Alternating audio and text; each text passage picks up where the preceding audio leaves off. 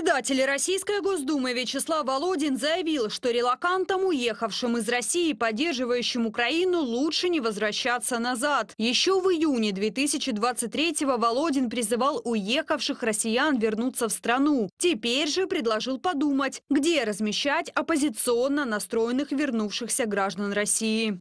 Тот, кто уехал из страны и совершил подлые поступки, радуясь выстрелам по территории Российской Федерации, он должен осознавать, что здесь его не только не ждут, но если он приедет сюда, Магадан ему обеспечен. С таким заявлением Володин выступил на пленарном заседании Госдумы. Это заявление обидело губернатора Магаданской области. Оскорбился политик не за соотечественников, которых лишили права на личное мнение и гражданскую позицию, а за подотчетную территорию. Колыма не принимает людей подлых, не принимает предателей. И это стереотипы или клише, старые клише, от которых давно пора избавиться. Тем более эти клише от релакантов прошлого. Они, к сожалению, имеют место быть. Но от них надо избавляться, причем избавляться всем, не только нам. Сергей Носов, губернатор Магаданской области, из публикации издания «Медуза». На встрече с учителями Носов доложил о небывалых успехах в развитии региона. Цитирую. «По поручению президента и правительства. И предатели им на Колыме не нужны», сказал губернатор. Для демократического мира такие заявления политиков недопустимы. Для России норма, говорят эксперты.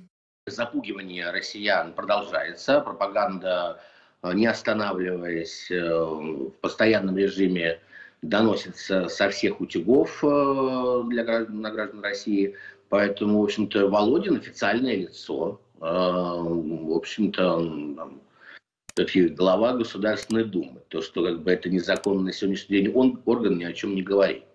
Релаканты, они, безусловно, как кость в горле, Э, необходимо власти России полностью контролировать умы граждан и любое восприятие, э, которое идет э, в противовес общему мнению Кремля, это, конечно, для них проблема, и они стараются минимизировать свои риски. Кремль стремится предотвратить возвращение в страну тех, кто потенциально может повлиять на настроение россиян. Любое свободомыслие абсолютно неприемлемо и даже смертельно для Кремля нужно выжить максимум возможного такого противодействия страны, и там все шаги, которые делает российская власть в последние годы, они направлены как раз на это. Ну, я думаю, что не стоит нашим зрителям напоминать, что ну, как минимум последние 10, там, 11 лет с третьего незаконного срока Путина э, ни одного разрешительного закона не было принято в стране. После объявления в России в сентябре 2022 года так называемой частичной мобилизации страну покинули сотни тысяч российских граждан. По данным Forbes, из России выехали от 600 тысяч до 1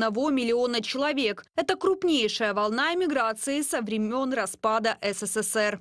Юлия Грановская для телеканала Freedom.